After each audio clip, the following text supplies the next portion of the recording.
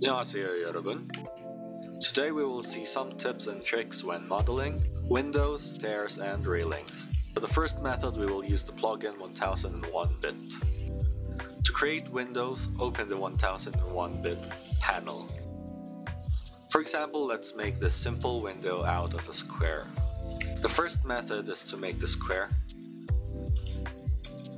Double click that square and look for 1001-bit panel divide. Number of rows will be 1, columns 2, frame depth and width 0.05. Create panel and click on that. It creates a group, as you can see, and inside that group is another group. So it says to color the glass inside.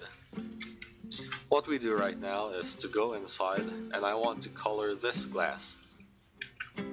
Click on the glass group and go to our material picker and you have the window.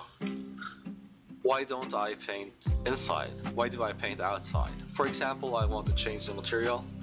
I could just easily click on that group. The next method we have is to make custom windows such as this. Let's do the same thing. We already have our window. The next thing we did was to color the frame outside, just like this. Now the next step would be to explode the glass inside. Go inside the window by double clicking it and explode this glass which is a group. Right click explode from left to right select that as in our volume tutorials and just using the move tool moves towards the left. Now this method will not require any plugin, it's a manual method. First start with a flat shape for fast exterior. For example, you already have elevations, just trace over the hole. Press F for offset and make the jamb. In order to create frames, we first created the offset and make our division which is 2. So we have two separate glass panels and make the frame offset which is a lot smaller. Now that we have a flat window, first thing we can do is to push the jambs outside. So when making the push-pull, remember our first volume, press plus or control. You already remember the difference between left to right and right to left. We're going to use right to left so not to hit the outer parts and then group or G for our volume shortcuts. In order to push the frames inside, we have to move inside the group. Double click push the frames. In order to have both faces of the window, we have to resize the frames. Click on that group of the frames and glass, go to the other side of it, and do the same thing. So click on that group, look for the midpoint, press the up arrow and look for the blue midpoint. In this case I have pushed it too much so I'm going to resize it.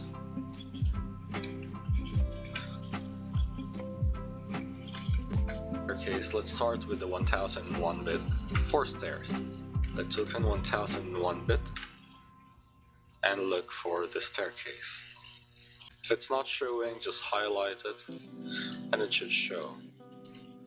Not here, but around the 7th. Click on build staircases and let's change the step width to 0.9, riser height to 0.2, tread depth to 0.25, gap to 0, number of risers to 7, and 7. Handrail will be okay. Create staircase, and if you have a guide, you can just trace over it. It's going to look something like this. When using plugins, the first one is the 1001 Convert to Profile. So what I do is I double click and go towards the group of the handrails. Double click to go inside again and I triple click the furthest one and look for the V-shaped convert to profile. I'm going to make it something like a tubular steel. Outside of the group it has been created. So I'll try it again with a smaller one and convert to profile.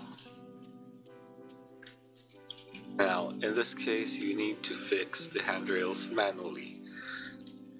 The other method is the Adebeo push line, which is also available in Volume 2. This time I have a shortcut for Adebeo push line in our Volume 2 shortcuts, so I use it here. Align it to the blue axis. Now if you have joint push-pull, you can make this thicker as well. But for now I'm just gonna show this a Adebeo push line. Making the handrails you could actually make copies of that for the balustrade. And third we have the profile builder.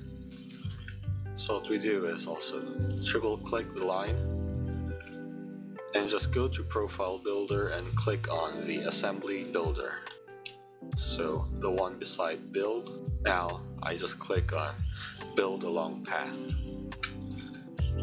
Because of its settings, it built my railing above, so I can just choose to push it down below. You could also choose other assemblies.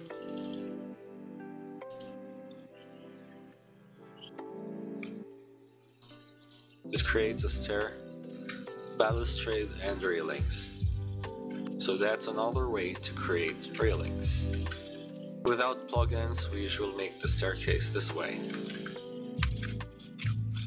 There and make three afterwards. Make this into a component and make copies of it.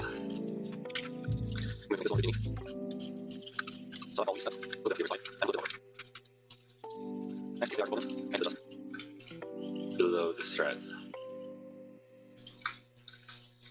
That's our 3D and 2D stair. And then follow me.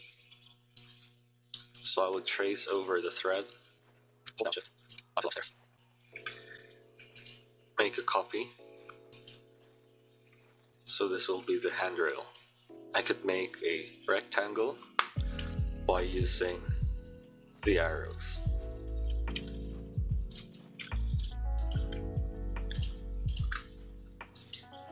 Try it again.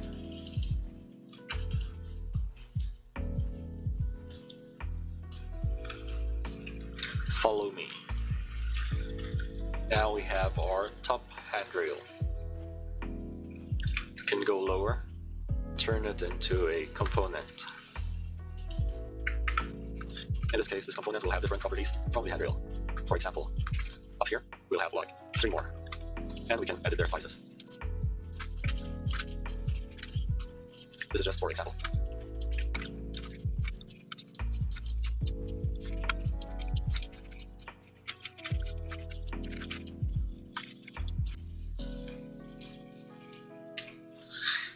As for balcony railings, most of us start with our balcony like this in 3D, right? So we could use to have a concrete balcony and then put some railings above it. Using the 1001 bit, we could use the same method as Windows. Let's create the rectangle and choose how many divisions we would want. Let's say I chose 3 rows and 4 columns. And on this side I would choose almost half. I will just choose 2 columns make this into a component, transfer it to the other side and flip. There we have simple balcony railings. Let's say that this would be glass. So what we could do, since this is already to a group, we could just scale it. But expect that there will be openings because of that. So I choose to close them first And in our volume 2, delete the coplanar edges, paint this into a glass, and scale it smaller. That could be one way to make a design for a balcony railing.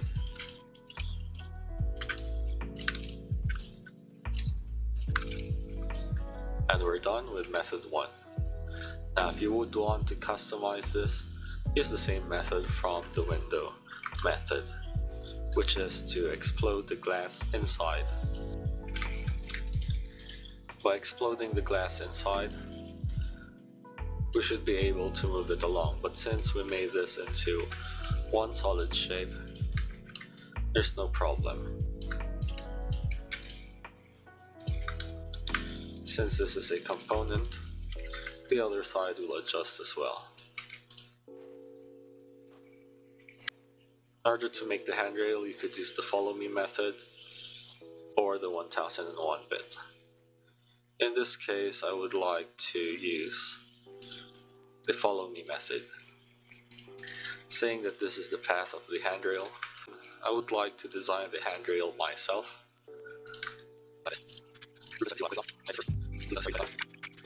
Putting this along the path, I would like to select the path, deselect the profile and use the follow me method. In that case, I have the handrail. I'd group it and put it higher around here. Now my handrail should be supported by the posts. In this case I'm going to draw some advantage of it, a wider span, handrail element, and put this inside as a component.